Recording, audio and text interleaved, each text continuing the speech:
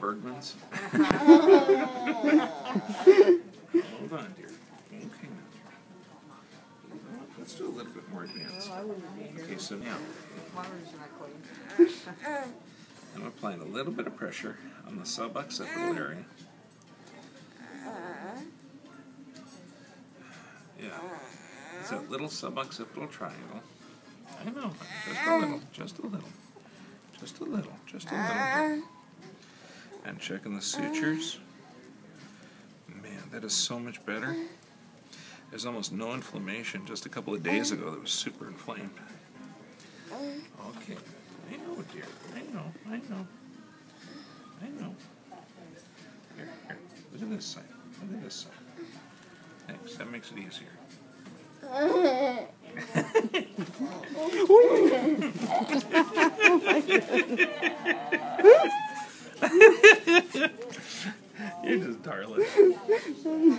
You're just darling. Whoop-a-doop.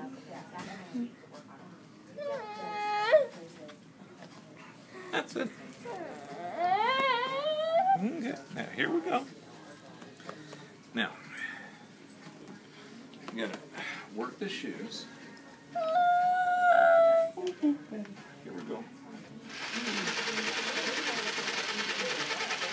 I know, dude. Okay, now, one of the reasons she's like giggling and stuff, here. it's almost like imagine, imagine not feeling your body. Now, what I'm doing, I'm palpating the Achilles tendon, and right now it's an increase in tone. And I do a 10 second second vibration, because all upper motor neuron there's like an increase in tone. And a lot of times they'll even put them in plastic like ankle thingies, and that's the worst thing to do because man, you want to, you don't want to limit the motion because that's going to limit afferentation or sensory input to the brain. And you can even see how her legs are a little straighter after that. I know, huh? Okay, okay, here we go. Here we go, dear. Here we go, dear. Okay, now, so after we've done that sensory input, we're going to turn her upside down to stimulate the semicircular canals. She thinks it's like really cool and fun. I know, she, in her language, uh, of course, it's what, what was your first clue? The giggling? Yeah. Okay. Okay. Now, when I'm going down, I'm flexing around.